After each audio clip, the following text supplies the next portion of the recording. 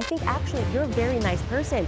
You're just not a woman, and you're never going to be a woman. And but I you, never, but, I know that. Right. Do you, Ray J, believe that Daniielle is a woman? I believe, like she said, Yeah. she's a trans woman. If What, what like, is the difference? That's what I'd like you to answer, Ray J. Ray J. what is the difference? Well, Is there, But- is there another, on. is there another Let me, but let me, let Yes, me, but let me. that Is word. there another word They Word love and what? using mental disorder. But because it is some, it is Yeah. because this is, I don't think this is triggering. I don't know why suddenly people are so triggered by this. It's your mental, and something is out of But order. it's because it's not real, Kat. And I'm not gonna say nothing to none of the homies, but y'all gotta speak up too and just come out and love and hug Trans and love is that do- like a and, and- zero. and at the show the compatibility Yeah. with what y'all like. So I put on the wig, I looked in the mirror and I went, oh my God, and I was attracted to me. So here we have Candace Owens hosting R&B singer Ray J, who also happens to be producer of a show called The Girls Club, which follows a group of outspoken, reportedly brawling transgender women living together in a Los Angeles mansion. Ray J, apparently now an advocate of transgenderism, is in turn accompanied by the Aussie doll, otherwise known as Daniielle, who goes into some detail explaining the life and experiences of a trans person. Of course, the kicker here is that Candace views transgenderism as a mental illness, of which she makes abundantly clear. So let us observe, giving our thoughts along the way.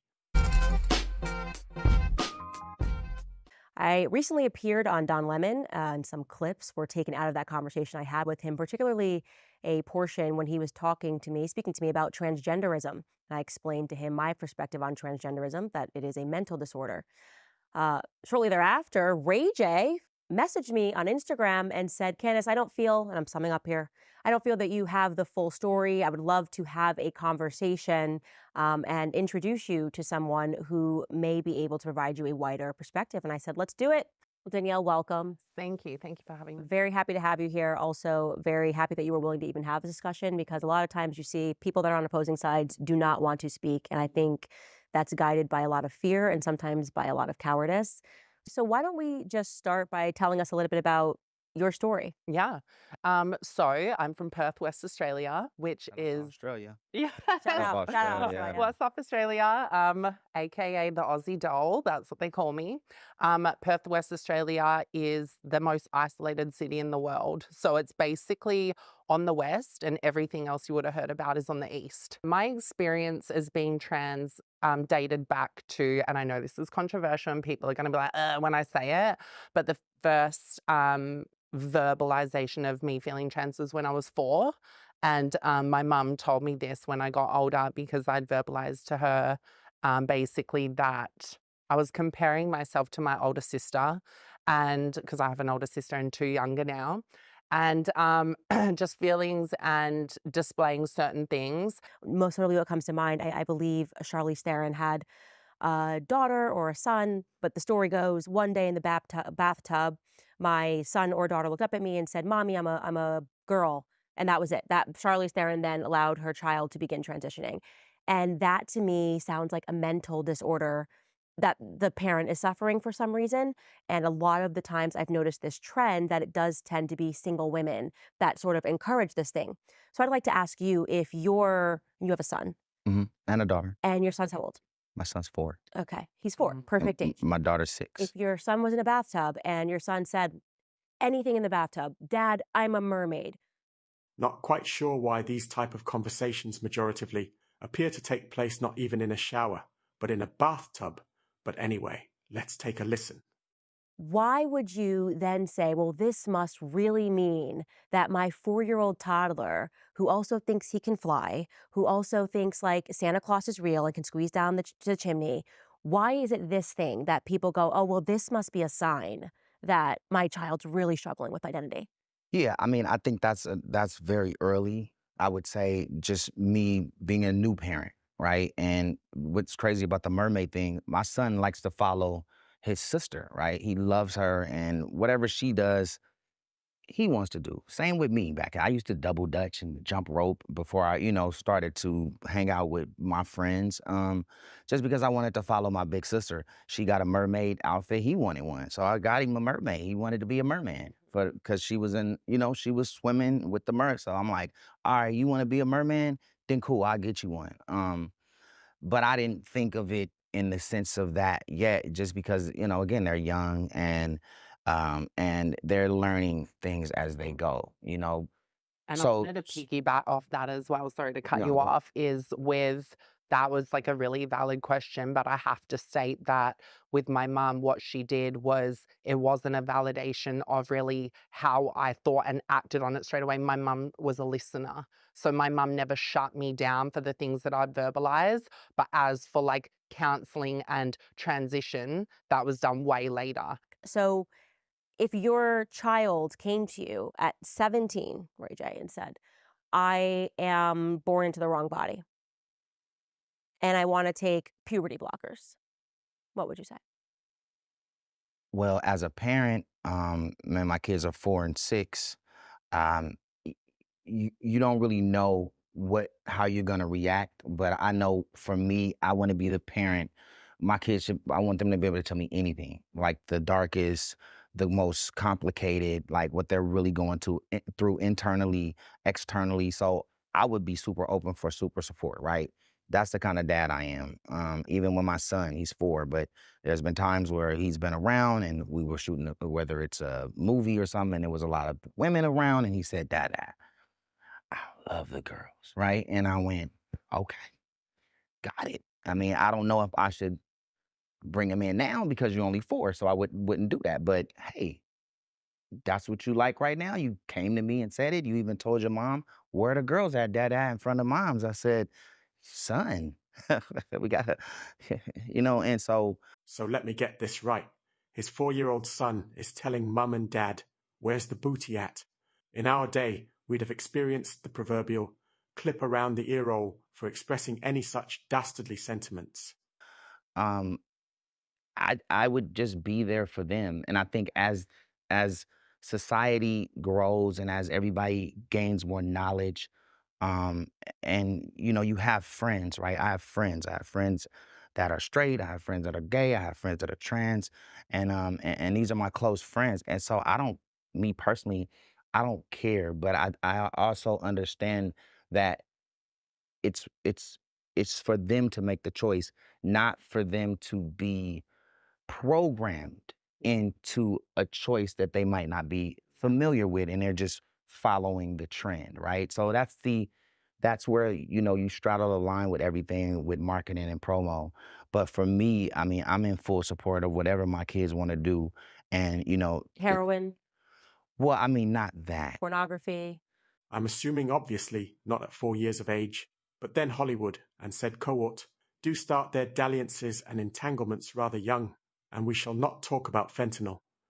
Not That's not that. comparable. But I'm saying He said, I'm like in full support of whatever my I'm- kids want to if- do. And if it they- is, it no, is no, no, meaning comparable. like meaning like but no, meaning like if they were doing that, please come tell me yeah. right. so I can help you. Like don't push me out to where you don't feel comfortable with telling your dad that you got a problem, right? So yes, I will be in full c- support of listening to them and helping them. So as honest as they can be, I want to be the dad to make them feel like anytime I'm going down, anytime I'm going up, whatever, I'm gonna always hit my dad and tell him what's going on. And you said you were 17, that you then realized there was something else that was going on with you. But, you know, just speaking about the development of the human brain, your brain is literally not developed at 17 years old, right? You are not a formed person at 17, 17 year old Ray J, 17 year old Candace. Think about how much I started You at have 18. Sorry, I just wanted to specify. started 17 19. was um, grade 12 for me, and then I started at 18. And in Australia, 18 is legal, not no, 21. legal and brain development are two totally different things. For things. sure, Yeah, so you can for go to war, all that stuff. But I mean, true. kids are drinking at 15, That's totally you fine. know, and which I, I don't support, by the way. right, but, just to be clear, your brain is not fully like like the human mind is not fully developed until 26 years old, right? I think it had. I think the experience of the human gets better. So your experience makes you have more knowledge, right? right. Doesn't mean that you aren't your greatest at 18 and 19 Yeah. and 20. You know, uh, those are the and I was in full knowledge of like my thoughts and and and in control over that because you have to remember to take it back. This is not a decision that I made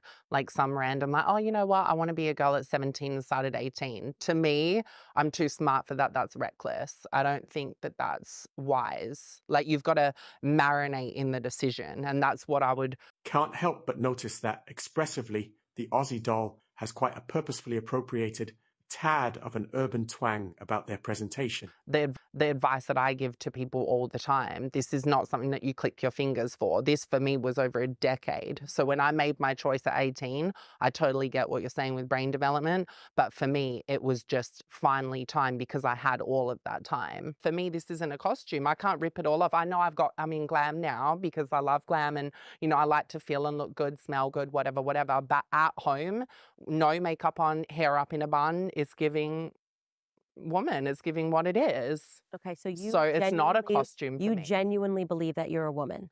100%. Do I think I'm a born female biological woman? Absolutely not. I'm a trans woman and I'm well aware that See? I'm not a biological woman. And I want to make that statement very loud That's a good. because that's where it gets crossed and where I think trans people need to come to the table is, is understanding that and letting biological women know that we're well aware we're trans women and if people are out there saying anything otherwise that's something that I don't want to back mm-hmm. right. because so now, now we're bridging the gaps. Right. Now we're bridging the gap, Candace. yeah I'm a well aware of Now who I am and what I am. Do you, Ray J, believe that Daniielle is a woman? Would usually be a humdinger of a question, but let's hear Ray J's answer. Yes. I don't I've never once even every time we talk, I've Yeah. always said Daniielle shit. I, I'm that's that's what it is. Like mm. and all of my friends that are in the community, I mean, I, we have a whole agency, right? Shout out to Tarad and Dumpin' D. It's the full agency, right? And then we have the girls club, right? So there's different layers and different um different things that people like to do in their world that they like to be outside of work. But when we all come to work, everybody's on time, everybody's on point. What happens after work? I mean, it ain't, you know what I'm saying? I, I could only imagine what some of my other friends do, some of my um, boom operators and camera guys, they they they real freaks, right? So who knows what they doing? All I know is that when we did the girls club, we shot it in Agoura Hills. yeah Um, it was a lot of intense um, drama. You know, everybody was trying to tell their story, so it got it got really dramatic, and it was a lot of like um, physical altercation. So we had to call another security team in. Security team got there, and the security team ended up falling in love with all the girls there. So they never left. I can only imagine some of you, the listener, with all type of uninvited debaucherous scenarios, pendulating the exacerbated brain cells upon hearing Ray J's last statement. Wow, So the so the security team would hang out with the girls after the set, and when it was eight o'clock call time, they just got out the bed and went to work, got dressed, right? Because everybody started locking in, and that showed me that you know it's uh, you know people after work and people in their own time is going to love doing what they do. So I just want to be clear. Daniielle, I think you're a very kind person. You're a very open person. I'm, I'm just so happy that you're willing to have this discussion. But Ray J, when you say that you believe, And shout out to the security team. you believe that Danielle is a woman, you believe that I am a woman. I believe, like she said, Yeah. she's a trans woman. Okay. and she made it very clear that they understand the difference. But if what somebody what like is the difference? That's what I'd like you to answer, Ray J. Ray J. what is the difference? Well, I would say what's the difference is a caricature of, hmm, you got me, Candace. But I'm about to attempt to wing an answer. Nudge, nudge, help me, Aussie doll. what you have, like what what's on you. You know what I mean? Um, and there is really no difference, but what your preference is outside of work, outside of us coming together and doing what we need to do to to finish the goal at hand. No, but what what is the difference between me and Daniielle? She's a trans woman, and you're a and the biology biological woman. Is that the word? Yeah, because I'm still being I'm edu- getting educated every day on it, right? Ray asked a lot of questions But you're getting educated on speech rather than being educated on what you know to be right and wrong. Well, wrong. no, I know. Mr. Ray J appears to be struggling with articulating the intimacies, no pun intended, of his business acquisition, thus leaving his rear guard exposed to a valid Candace verbal maneuver swipe. I, well, not right and wrong. I just know Yeah. what what's the difference. So if you have to differentiate, and I'm I'm glad that you are, because I do think that that's much more respectful than where a lot of people are coming from. Um, who self identify as transgendered. But if you have to delineate, if you have to say, I'm a trans woman and Candace is a woman, then that necessarily means that we are not the same, right? We are something different. I think everybody is different. Every human is different.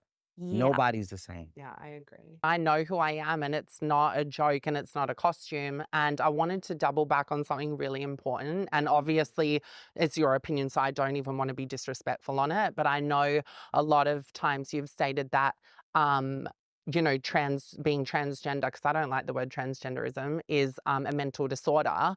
But you know, the the APA states that it's not a mental disorder at all, and they're psychiatrists, they're Yeah. trained psychiatrists, and I knew you probably knew I'd bring this up, but you know, the APA states that it's not a mental disorder at APA? all. So that's the American Psychiatric Association and also the World Health Order, and what they state is that it's actually just obviously gender dysphoria, and then the description from gender dysphoria is the feeling of distress You feel me? from gender dysphoria. Everything and every individual is different. And that's why I'll always preach that point. But it's not a disorder. I don't have a mental disorder.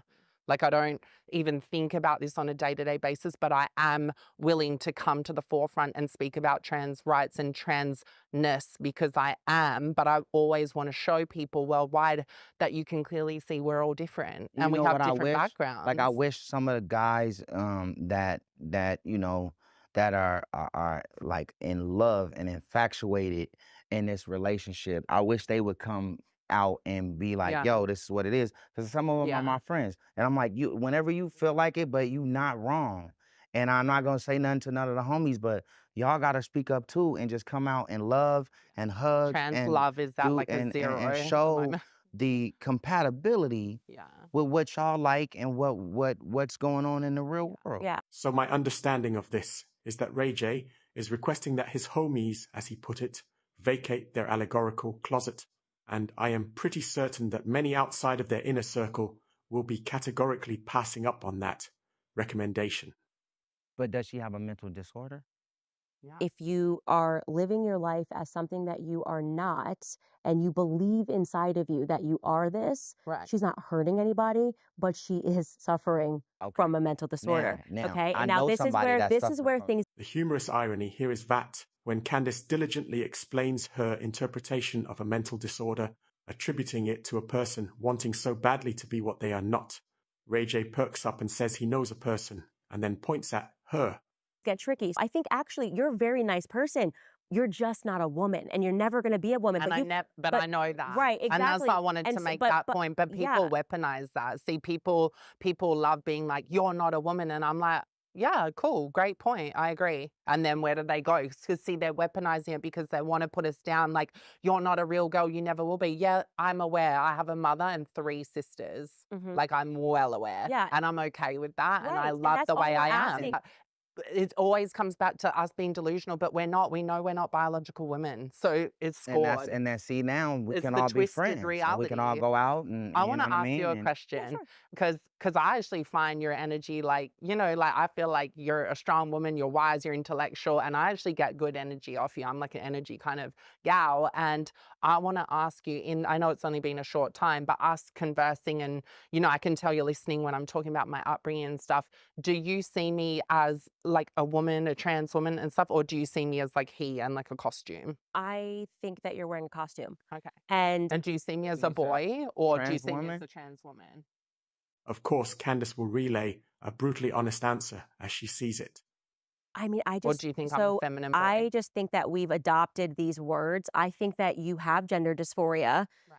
You feel happier in this. I'm more meaning physicality because obviously you've you, any person. I could get Ray J. I mean, makeup. Oh no way! Right? No, no. But I'm, I'm saying like you know, I you, you could. Have you seen X Men? I mean, Charlize Theron. The But ma- I'm they- more in makeup. You asking- can you I'm can more present as asking a physicality, but even without makeup, like I can get photos and sent to you with me with no makeup, no editing, whatever. Mhm. I'm more mean like in the sense because this is also a huge topic that, and in um, the trans community, we call it um, being real or being passable. Those are just like street languages, and um, you know, it it doubles back to the fact that I don't sit on a couch at a restaurant or at a bus stop or whatever and be like trans or whatever. I actually pass as a biological female. Mhm. So then it becomes my responsibility to every day educate people that I am trans. And that's usually out of respect because I like to be honest with men. I don't like to, you know, deceive anyone or lie or whatever. We would hope so, Aussie doll. But my thing is, is if we were having a conversation and it wasn't about this and we were just vibing, or if I went to your church and stuff, like you're not looking at me as like a boy or like glam, Ray and glam. Well, if to be fair, I, I since I knew you were coming here, I feel like it's not a fair question to ask because. But to be clear, there are tons of, especially today, uh, you could literally look at somebody on the internet and never know that they lived at the opposite sex. Yeah. Yeah. and that's that i- or that they were born um, as as the sex that they're not presenting rather is the best better way to say it but to me I, I don't know like for me i think that it's just dishonesty do you know what i mean if you're not being honest. if you're not being Like honest when I like like I you like, like, like like one time, and I ain't never told nobody this, but I put on a wig one time, right? Yo. And so when I put on the wig because I was trying to get into this other character, so I put on the wig. I looked in the mirror and I went, "Oh my god!" And I was attracted to me. No comment, other than don't tell Dave Chappelle that. Yo. So I took the Ray wig is real the fast. key. and I went, "What just happened?" He was in character. I didn't know what happened, but I was it's like, true though. Because I had it on and I went like that because it was in my it was in my um eye. So I went like that and I took it off because I was attracted to me. Yo. And, and I love me, but I didn't know I loved me like that. Like I look good. Mhm. So I never did it again. okay i'm so Oh happy my that, you- that you shared I that just yeah, I don't know why, but I felt like it's good to just be vulnerable here. But yeah, that's what happened to me. this is a safe space Yeah, thank you. and i, I I'm want sure you'd to make a and, I- gorgeous woman. you would make a gorgeous Maybe woman No, I just liked me. I was like, damn. And then I went, oh, that's me. And listen to the education that, like, hopefully now we can provide. We have the Gay agency, we have Gate RPR, I have Ray Pride, which is a C3. And, and I think we have the Girls Club. After seemingly thumbling some of Candace's basic questions, why does this strike me predominantly as Ray J seeing a gaping hole in the market and taking advantage of the trans community into making some dollar? And I think it's just having these conversations where people who are straight and people who are gay, people who are trans, they could all just sit down and just just talk it through, right?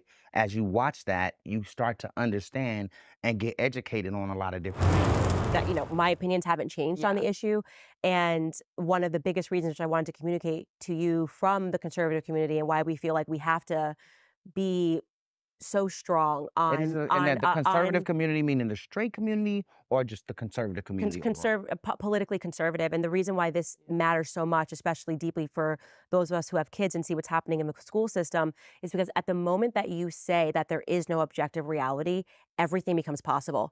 And some people hear that and they're like yay disney world everything becomes possible.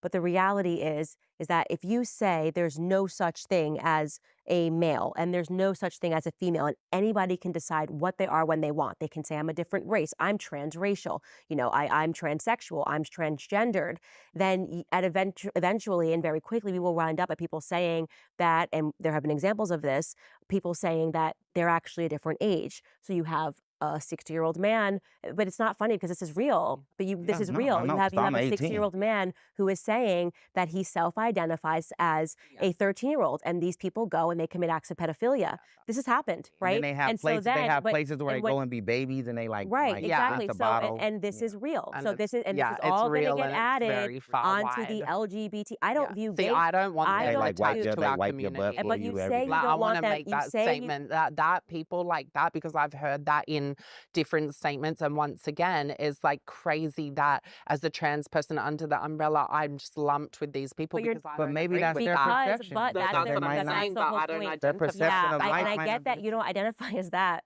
but it is ideologically speaking the same thing if we don't say that there is an objective reality. It would actually be better if a trans person said, I accept this is actually a mental disorder. I don't want to say to people because by the way, people have other mental disorders. Bipolar. I've got people have this. That's why we say schizophrenia. um, Is there, But- is there another, on. is there another Not let me, but let me, let Yes, me, but let me. Is there another word, Candace, besides mental disorder? But because it is It's some, it is okay because this is. But I don't think this is triggering. I don't know why suddenly people are so triggered by this. It's your mental, and something is out of But order. it's because it's not real, Ken. But it- Candace, as usual, purposefully, provocatively, getting her point across, controversially. Reminiscent her discussion with Don Lemon on the English word priorly used to describe a bundle of sticks. Some But- people but- are, some okay, people, but- some people don't like to eat food Yeah. because they want to Okay, be. just give me one second. Let me I'm just get through Candace, this. Okay. It is, it is, right? So there can be people, that's right, who have body dysmorphia. That is a mental disorder. You have people who are anorexic. I used to have anorexia. I had a mental disorder, okay? I was tiny okay, and I was doing it as a control mechanism.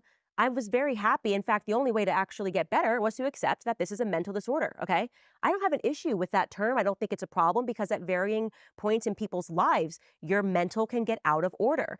The issue when you don't acknowledge that it is a mental disorder and you instead just insist that, like, this is a normal thing and people are born this way means it becomes impossible to attack that person. Ideologically speaking, if you start making laws and saying this is real, then that guy who says, I'm 63 years old and I believe that I am 12 on the inside, I never grew up, this is who I am, Peter Pan, send me to Neverland, and he molests a, another girl and he goes into the courtroom and he says, No, I'm 13. Objective reality Yeah, is what Neverland I feel, definitely not the- right? It's how I feel on the inside. And I actually, Your Honor, feel that I'm actually 16. That's against the law. Now, here's the Okay, question. but Against the I- here's, law. but here's okay. the question. But this is why we have to be a guard, and this is I'm speaking now on behalf of conservatives. We have to be a guard and we have to say objective reality exists. Okay. Objectively speaking, bipolar, it's a disorder, anorexia, it's a mental disorder, transgenderism, dysmorphia is a mental disorder. These are all mental oh, so. disorders, right? And No, there the are anorexia there are is a mental disorder. Being trans is not a mental disorder. So we have to stick to the facts. It is not so anorexia someone and believes they're schizophrenia fat is and a actually they're skinny, you say that's you have a mental disorder. I got a good question. and you but you're saying that you are a male you believe you're a woman and that's not a mental disorder I'm just being specific. Trans and anorexia, mental disorder and not mental disorder. The APA, you only have to ask the APA. These are trained psychiatrists. And I understand that conservatives all want to say that's to fill an objective, but at the end of the day, it is what it is. well they, it's, they just it's, updated we're not that a manual mental disorder. in, in the last couple of years like, yes, it exactly, was because it was literally a mis- mental but it- disorder no, but it was misinformation, and conservatives in the past. and someday they'll update that same manual and they will say that minor attracted people which is a term that they're tossing around now because they're saying it's offensive to call them pedophiles and we should instead call them minor attracted people someday they're going to push to update the manual then which is why i insist on being a guard against that And There that's is the legal objective reality. and I don't want that attached to anything to, you know, what LGBTQ. how do you feel about that talking about people saying i identify as a 12 year old How many people in the world are st- statistically suffering from a mental disorder?